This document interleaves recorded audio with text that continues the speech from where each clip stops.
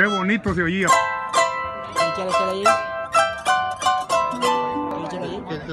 Yo le he hecho la segunda parte.